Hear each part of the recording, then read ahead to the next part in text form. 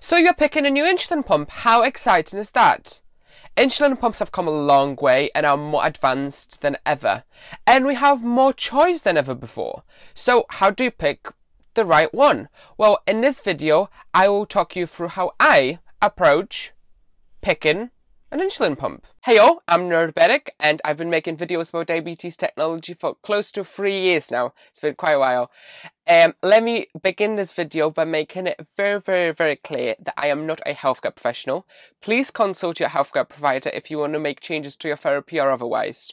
So how do I pick my insulin pump? So let's start with taking a blank piece of paper and writing down a list of all insulin pumps available to you.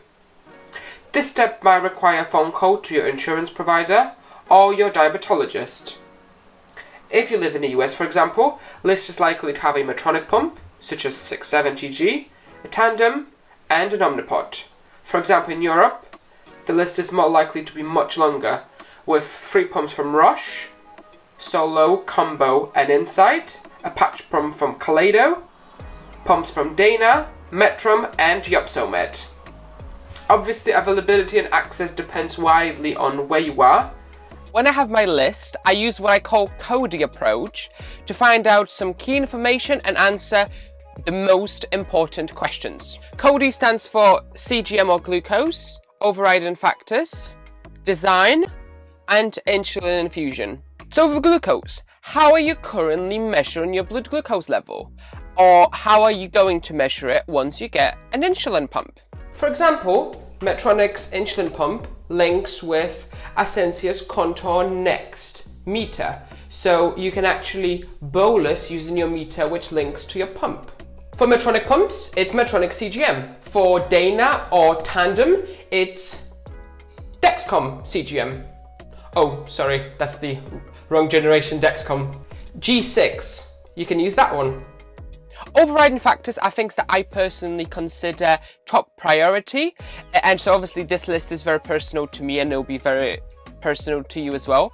But to give you an example, for me, one of my major overriding factors is a DIY looping. So um, my list of pumps that I, I would pick um, is reduced to pumps that I can loop with. Also, if this is your first insulin pump, think about the reason why you are getting one in the first place. What was the thing that made you or your healthcare team suggest starting an insulin pump therapy? D is for design, and the most important question here is tubed or patched? Tubed pumps look like this, and they have infusion sets, which are different lengths, shorter or much longer. They are attached to your body using clip-ons Tubeless or a patch pump is attached to your body separately. For example, this uh, Roche's um, Solo and this Insulet's Omnipod. They are controlled using a separate remote, such as this, that communicates wirelessly with the pump itself. Beyond tubed or tubeless, think about the design in general. How does this device look? Uh, you're going to be using this pump for approximately four years. That is actually quite a long period of time.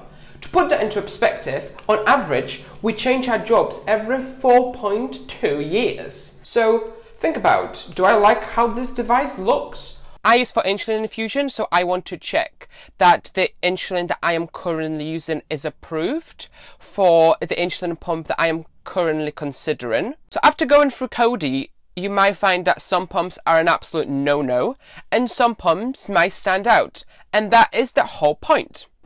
Next, think outside the box about insulin pump therapy. Um, so, uh, personally, a very important part of picking an insulin pump for me is knowing how much stuff I need to carry with me every day. So obviously this will really depend on your therapy and what's what you do in your diabetes management. But um, this is what I carry with me. I'm on Omnipod at the moment, and this has two spare Omnipods, um, cables, batteries, um, my insulin pen, spare insulin, uh, my MedAngel, um, and some hypo treatments. Um, and this is what I carry with me every day, um, all the time. So I think it's quite important to know how much stuff you will need to carry with you. If you want to get a better idea of um, what other users of the pump they are considering uh, uh, carrying with them on daily basis, just go to Instagram, Facebook or Twitter or any social media and type hashtag and the name of the pump that you are considering. And you'll be able to find some great pictures very very quickly of what people carry with them on daily basis. And that should give you a, a good idea of um, what um, they carry with them. Also, beyond the box, think outside the luggage. Um, if you travel a lot for business, for example, um, you will obviously carry uh, your pump supplies with you to your hand luggage. And if you combine that with your CGM supplies and maybe some other diabetes supplies, it might add up to quite a sizable part of your luggage. So think about how much um, volume you need to take with you. So this is, for example, Omnipod. This is Medtronic.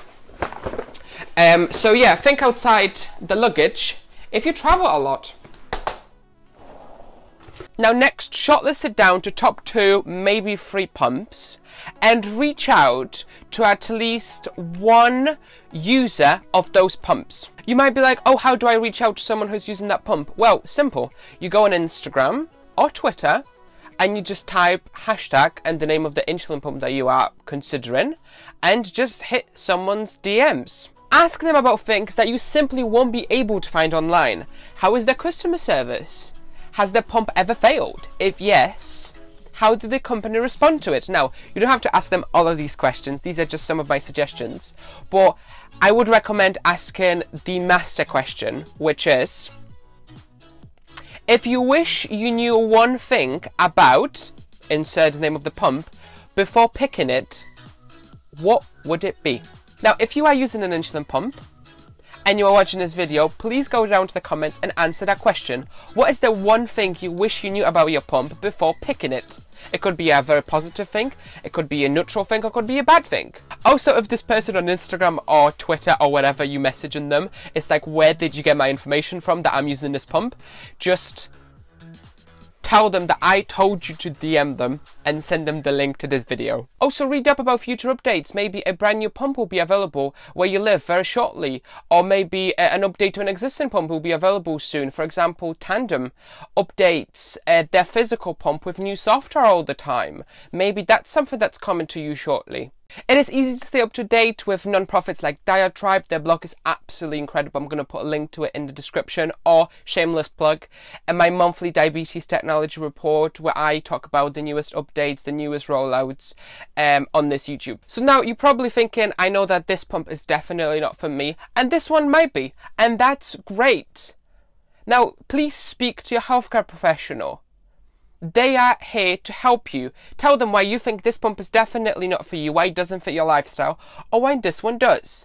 And make sure you come together to pick your insulin pump. So I hope this video has been helpful. I hope some of the things that I mentioned maybe are things that you haven't thought about before. Um, I hope it's been useful. And um, please let me know how it goes in the comments. I would love to hear from you.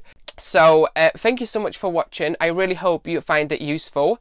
And um, yeah, I will see you next time. And uh, remember to subscribe for more videos about diabetes tech. Thanks so much for watching. All the best. Stay safe. Bye bye.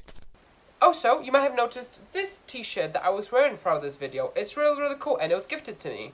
If you want to check it out, link is in the video description. 20% of international orders are donated to charities, including uh, Tidepool, you can use code NERDABETIC. uh, and if you do that, if you order as the 10th, 50th, or 100th person, your entire order, including shipping, will be refunded.